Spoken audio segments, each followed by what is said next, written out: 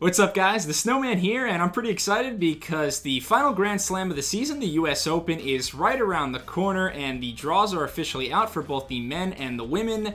Uh, today I'm going to be previewing the women's draw. If you haven't checked out my men's preview yet, uh, that is out. Please check that out if you have time.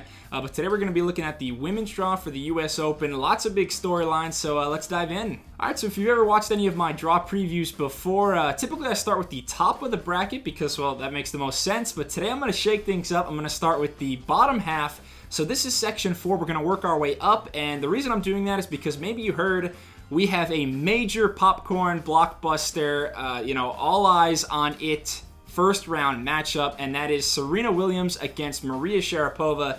Two living legends will be going at it. Uh, their their all-time rivalry, 19 and 3 in favor of Serena. They've been playing for a long time. Uh, Williams, though, typically when these two meet, she dominates because she's just a little bit better at everything on the tennis court. Very similar playing styles, but Serena has the big edge. And uh, I remember getting up at 3 a.m. for their Aussie Open final, what, four years ago in 2015, thinking that could be the last major clash between these Titans, but I'm so happy that we get to see Serena versus Maria again on a huge stage. It's likely going to be on Arthur Ashe at nighttime, either uh, opening Monday night or Tuesday night for sure. For Serena, she's trying to make it back to the final and avenge that infamous defeat uh, last year at the hands of Naomi Osaka, where Serena kind of had that mini meltdown. Uh, Maria, she's also trying to have one more magical run. Hasn't had the consistency due to injuries the last couple of years. Basically, since her suspension, she's rarely been 100%. Uh, has a lot of has had a lot of problems with her shoulder, but she still had a few moments here and there. Did upset Simona Halep, the number two seed back at the U.S. Open in 2017.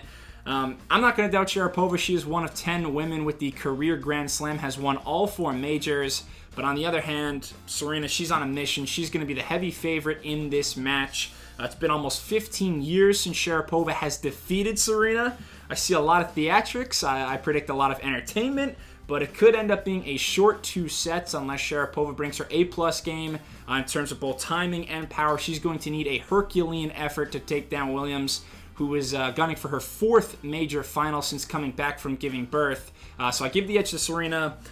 Also, uh, in the bottom part of this section, you do have the uh, the number two seed Ash Barty and number 14 uh, Angie Kerber both lurking. Barty, one of three players who can uh, leave New York as the number one player in the world. She's been on fire the last six months, winning the French Open. And then Angie Kerber hasn't been in the best form since uh, making the Indian Wells final back in March. Has dropped out of the top 10, uh, but as her Instagram states, she's in an empire state of mind. So I'm I'm pegging Kerber as a potential champion of this event as well.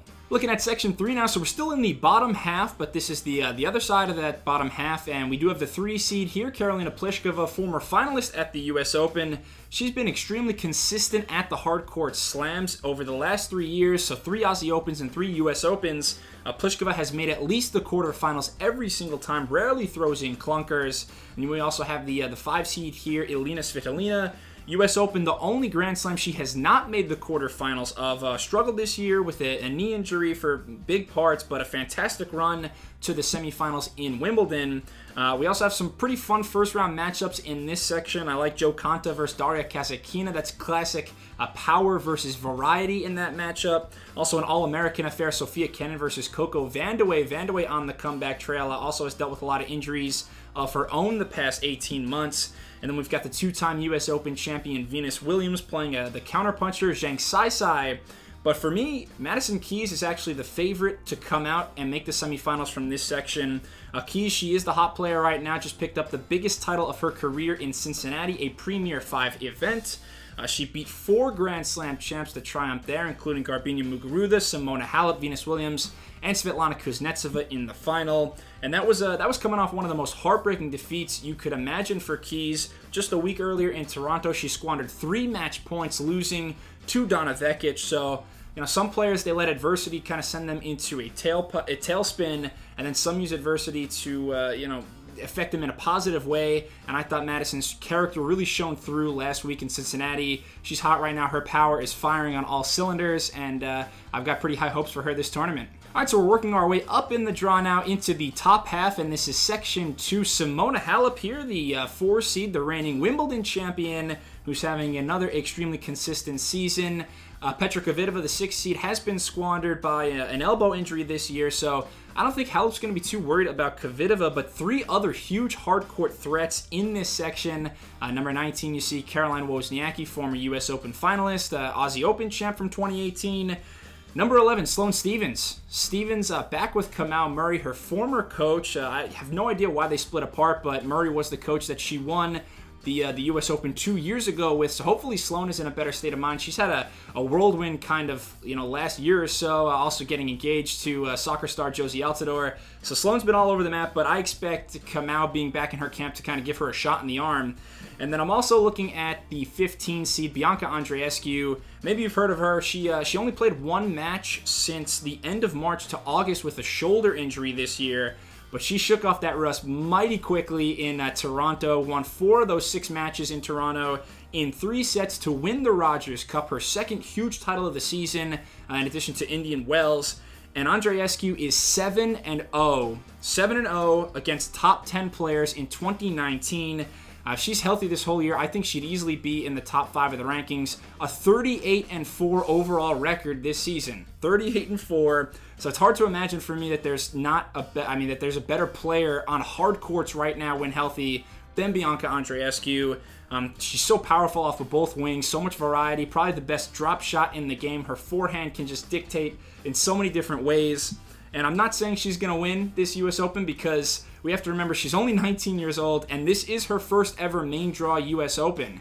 She has very little Grand Slam experience at this point in her career, but she is a contender for sure. Uh, please do not look past Bibi. Uh, she meets Halep in the quarterfinals. That would be awesome. I would give Andreescu the slight edge. Uh, but that, that'd be a lot of fun. Also, one other name to mention in this uh, section two of the top half Svetlana Kuznetsova just made the final in Cincinnati, and of course, she is a, uh, a former U.S. Open champion herself back in 2004. Finally, then to the top of the bracket and uh, section one. My apologies uh, to Naomi Osaka for waiting so long to get to her, but she is the number one player in the world. That could change though in the next couple of weeks. Uh, you know, we know 12 months ago she really became a household name when she defeated Serena Williams in the final to win her first major, then won the Australian Open, but she hasn't been that consistent uh, this season. Could lose the number one ranking if she fails to defend the title. Uh, both Barty and Pliskova are right behind her in terms of total points. So all three ladies have a great shot to leave New York as the number one player. Uh, Osaka did have to retire in Cincinnati with a knee injury, uh, but she says she's feeling fine. I really want to see Osaka play the 13 seed here, Belinda Bencic in the fourth round.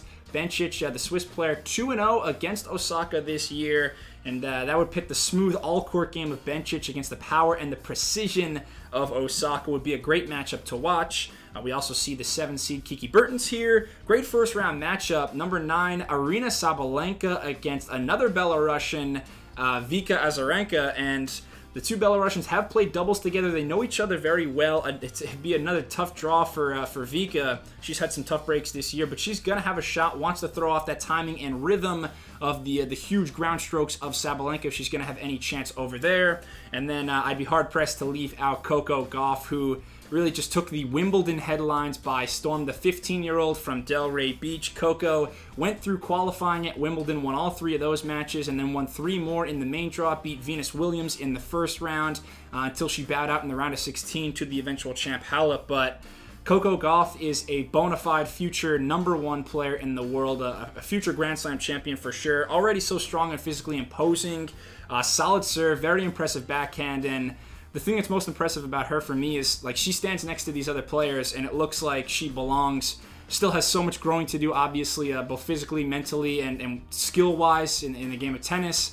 But Gauff is on the right track and um, you know hopefully she will bless us with another great run here but uh, i think all eyes are going to be on her. It's, it's definitely going to be a lot of fun to watch all right, so those are the major headlines. Uh, leave a comment. Let me know who you think will do well at this U.S. Open. Check out my men's preview as well if you haven't done that already. But thank you so much for watching. If you enjoyed this, uh, please subscribe to the Snowman Sports Media. Give me a thumbs up. And thank you so much. Cheers.